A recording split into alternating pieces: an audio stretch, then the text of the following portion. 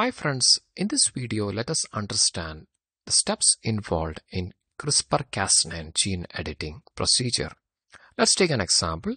Suppose this is a patient with sickle cell disease. We know that the sickle cell disease is due to a base substitution. Let me zoom in this. So this template strand is CTC so here thymine is replaced by adenine in the case of disease condition. As a result, the normal amino acid glutamine that is present in normal protein is replaced by another amino acid valine that lead to a mutant protein lead to sickle cell. So if the single base is corrected or replaced with the correct base, this disease can be cured. So we have divided the entire procedure into steps for understanding. Step 1 is HSPCs are isolated and cultured. HSPCs are hematopoietic stem and progenitor cells, simply precursor cells that is capable of dividing and differentiating to form all types of blood cells. So this is cultured. Now we are entering into CRISPR-Cas9 gene editing procedure. First, we'll be synthesizing the guide RNA. Step 2 is synthesis of guide RNA. Guide RNA is simply an RNA that is complementary to the target DNA sequence. Here it is this sequence CHC. That sequence should be edited. So guide RNA will be complementary to that target sequence. Step 3 is Cas9 guide RNA complex formation and transfection of that complex to target cells.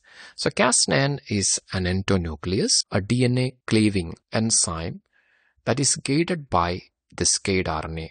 That is why this RNA is called as guide RNA as it is guiding this Cas9 for make specific cuts at specific DNA sequence that is complementary to this guide RNA.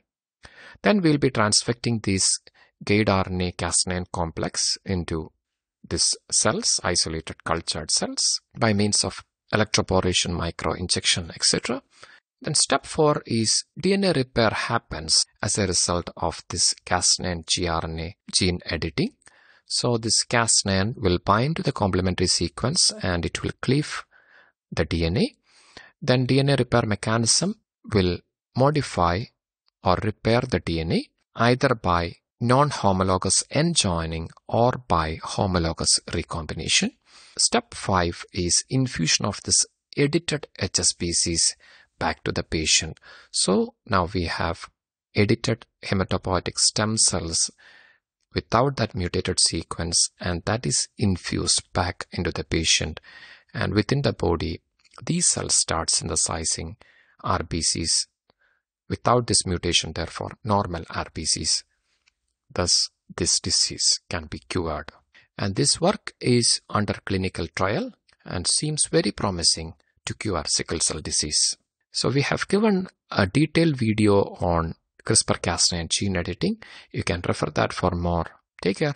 Stay blessed. Thank you so much for your support. You are with biologyexams4u.com.